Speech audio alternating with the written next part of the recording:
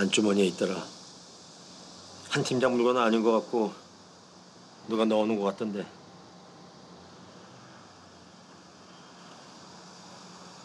여기서부터 네 몫이다. 나야 기껏 할 수 있는 게 여기까지고.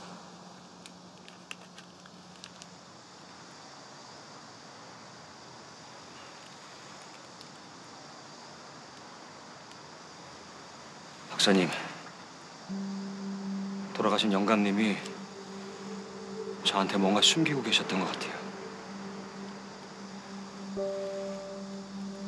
이게 키- 키메라가 대체 뭘까요? 뭐길래? 박사님 좀이라도 뭐 아시는 거 없으세요?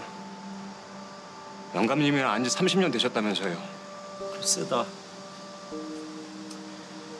오래 알고 지낸 건 맞지. 맞는데 우리 마누라가 그러대. 사람 속은 살 썩고 같이 사는 사람도 모르는 거라고. 사람 배 열면 오장육부 있는 건 다 똑같은데 근데 그거 아니? 부처랑 마귀가 같이 살 수 있는 유일한 곳이 사람 뱃속이란다. 그러니까 네가 모르는 부분이 있었다고 해서 그게 네가 잘못한 건 아니야.